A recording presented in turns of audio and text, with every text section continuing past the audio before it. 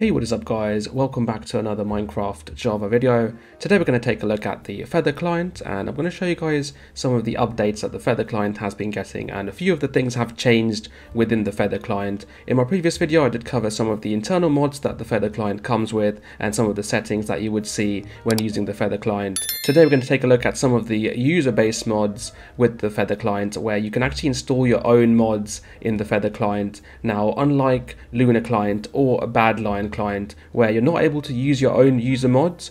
With the Feather client, the good news is that you can actually go ahead and add your own mods to it. So that's really cool thing. We're going to try and look into those mods as well today. And I'm going to show you some of the updates which have been implemented in the recent Feather client versions. So let's go ahead and take a look at some of the different things that have changed within the Feather client from the last time when I did review the Feather client. Alright, so some of you might already know this, but Feather client comes with four different versions. It comes with version 1.8.9 version 1.12.2 and both of these versions are actually based around Forge. So as you guys can see 1.8.9 and 1.12.2 both say launch Forge. Now versions 1.17.1 and versions 1.18.1 both are based around Fabric. So as you guys can see it says launch Fabric. If I click into the mod section over here and if I actually click into both 1.8.9 and 1.12.2 you can see that it says Optifine over here. Now one of the major updates that has happened happened with the Feather client is that now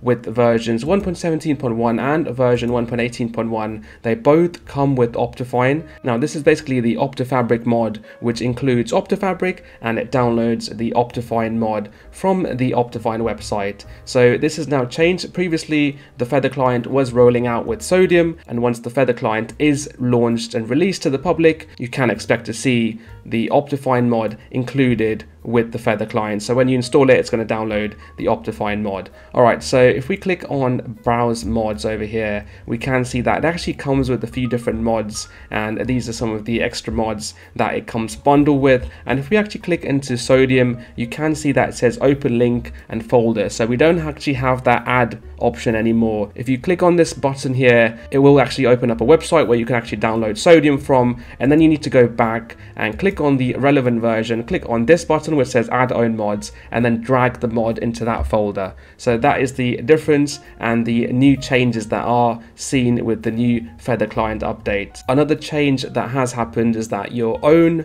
user mods will now show up in this section. So if you actually click into any one of these versions where you have gone ahead and added your own mods, it will actually show them on this section. So as you guys can see, I've added some of the mods over here, which is Clumps, Xaero's World Map, I've also put sodium in here, but I have got that disabled for now. I've got apple skin and gravity changer. So I have actually put these mods and their jar files in the mods folder after clicking on this button, which says add own mods. So let's go ahead and actually launch Minecraft on version 1.18.1 and take a look at how it looks with Optifine installed. To be honest, I have not noticed that much of a difference compared to Sodium, but for those of you who were looking forward to using versions 1.17.1 or versions 1.18.1 with Sodium, just bear that in mind, you will have to download that separately and then turn off Optifine from the mod section. So let's go ahead and click on Launch Fabric and wait for the game to now load. Alright, so as you guys can see, the game is now loaded up, and this is the Feather Client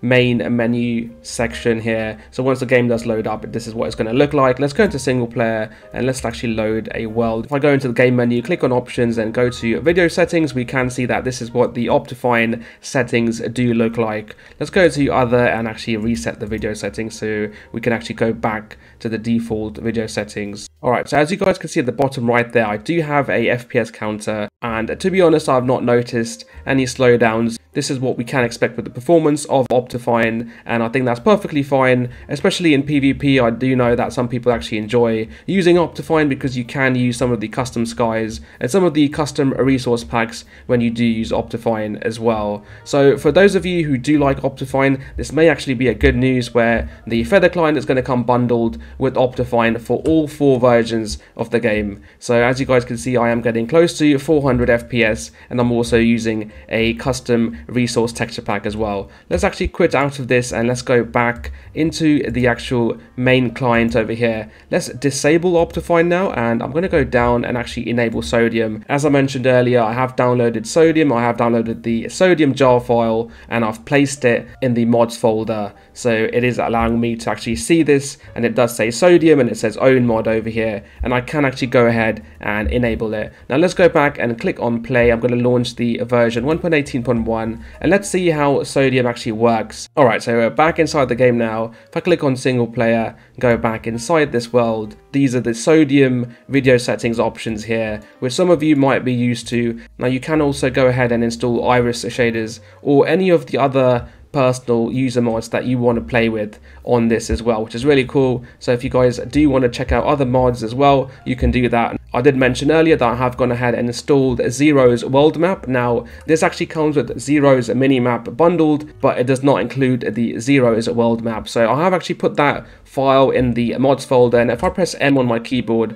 this is the Xaero's world map mod that I have gone ahead and installed as well. So it's really cool. You can actually go ahead and install your own mods if that is something that you guys enjoy doing. So I think it is actually a cool idea to have it bundled with Optifine and then have the flexibility and customization options of installing Sodium as well if you guys want to do that. Hopefully you guys have enjoyed this video. If you have, please do give us a like. Or if you have any questions about the Feather client in general, then do leave them in the comment section below. I will do my best to try and help you guys out. Please also do subscribe to this channel to help support it, help it grow, and I'll see you guys next time. Thank you for watching.